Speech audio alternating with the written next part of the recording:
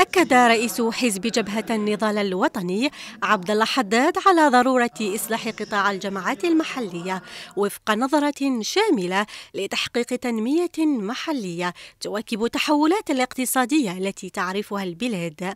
وذلك في ندوة اقتصادية خصصت لمناقشة وإثراء قانون البلديات والولايات والعلاقة الوثيقة التي تربطه بقانون الاستثمار الجديد. نظمنا هذا اليوم الدراسي لنكون نكونوا من المشاركين في التنمية المحلية. واقترحنا عدة حلول إن شاء الله ياخذوها بعين الاعتبار وخاصة صلاحيات المنتخب المحلي باش آه، كل آه، ولاية تمتاز بخصوصيات القطاع تاعها. كاين قطاع فلاحه فلاحه كما عند فلا كاين قطاع سياحه كما آه تنس وغايتي. هاد الناس المنتخبين يعرفوا بما يناسبهم في القطاع تاعهم.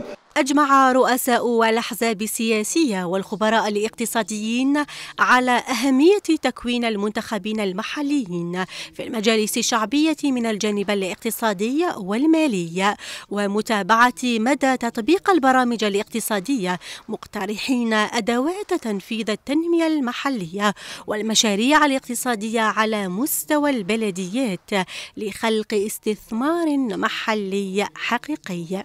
كيف ننتقل بالتنمية المحلية